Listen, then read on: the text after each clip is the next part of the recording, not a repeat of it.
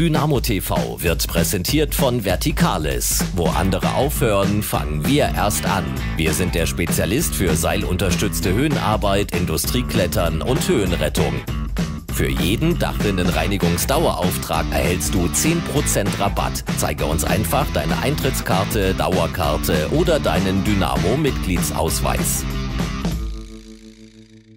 Was mich als Menschen ausmacht. Also ich bin ein sehr ehrlicher Mensch. Ich bin äh, vor allen Dingen jemand, dem Freundschaft, Familie extrem wichtig ist. Ich bin sehr demütig und äh, habe ähm, bringe ihnen sehr viel Respekt entgegen, was ich auch äh, von dem Gegenüber erwarte. Ich bin ein emotionaler Mensch. Ich bin ein Familienmensch, mir ist das sehr wichtig. Und ja, ich glaube, ja, ich glaube, ich kann auch den einen oder anderen Spaß kann man mit mir machen. Spaß an der Arbeit, Akribie, Ehrgeiz, Vertrauen und das gegenseitige Aufeinander verlassen können, wird in Dynamos neuem Trainerstab bedingungslos gelebt. Cheftrainer Mike Walpurgis hat mit Ovid Hayu und Massimo Porcello zwei Co-Trainer mit nach Dresden gebracht, die nicht nur beim Memory-Spiel als echtes Team funktionieren.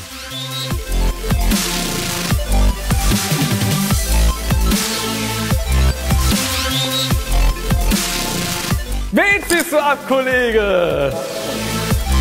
Jawohl, Massi, Junge! Fünf, Nebeneinander kann Vier. nicht legen. drei, Ja! Das war er. Das war er. Die Giraffenbande. mit dem Herz. Und zuletzt mit dem Dynamo Herz. mit dem Herzen. Das ist doch ein super Ende hier. Wir haben unentschieden. Okay, alles klar. Ja, ist doch so, da haben wir jeder ein Herz. Okay, hast, hast nicht schlecht Aber jeder ein Hast Herz. mit Hast du gut gemacht. Und ich kann, bisschen, mit ein bisschen Glück hast du gespielt.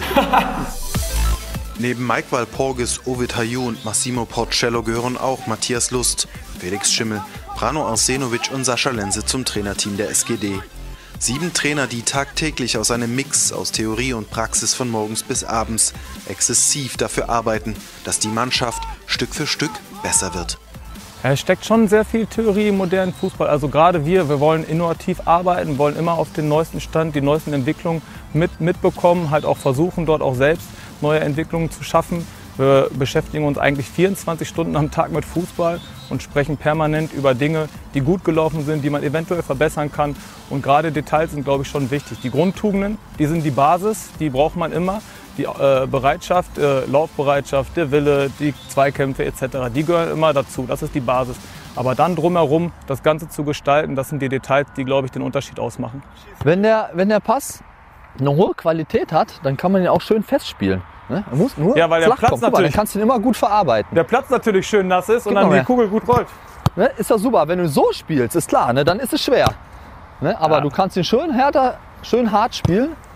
Wichtig ist, dass er flach kommt. Ähm, es geht eigentlich nur um Fußball. Also äh, egal, wo wir sind, ob's, äh, ob wir nur einen Kaffee trinken oder abends dann beim Essen, es dreht sich alles nur um Fußball und äh, es ist einfach auch eine ganz tolle Aufgabe hier. Man will sich wirklich hundertprozentig einbringen, will wirklich äh, alles Mögliche in der verfügbaren Zeit um, äh, umsetzen und dann geht es eigentlich nur um Fußball und wie wir dann in den nächsten Tag wieder reinstarten. Es wird alles Mögliche geplant und äh, privat eigentlich kaum. Voller Fokus auf den Fußball und die eigene Idee des Spiels. Ovid und Massimo sind in den vergangenen zehn Jahren auch zu Vertrauenspersonen im Leben von Mike Walpurgis geworden, die sehr genau wissen, wie er als Chef tickt und was er von seinem Umfeld in der Zusammenarbeit erwartet.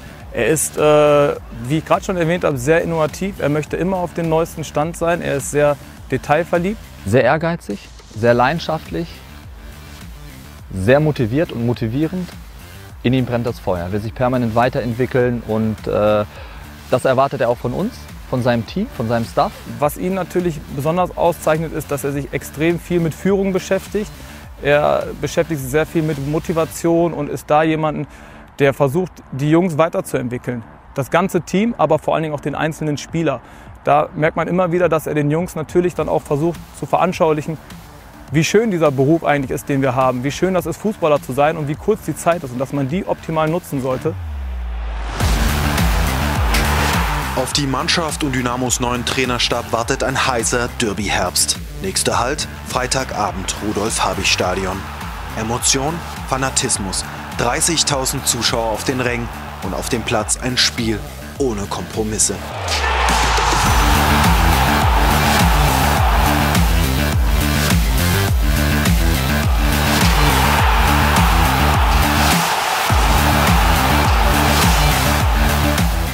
Siehst ja, sofort kommt mir das Lächeln, sofort kommt das Strahlen. Also das ist Wahnsinn, wenn man in dieses Stadion kommt, die Zuschauer einen zujubeln, brüllen. Also ich würde am liebsten ja selber die Schuhe anziehen und wieder auf den Rasen stürmen und loskicken. Also das ist ein Wahnsinnsgefühl. Das ist das Geilste, was du haben kannst, ob du jetzt auf dem Platz stehst oder als Trainer. Wenn das Stadion voll ist, du hast äh, ein enges Stadion ohne Laufbahn.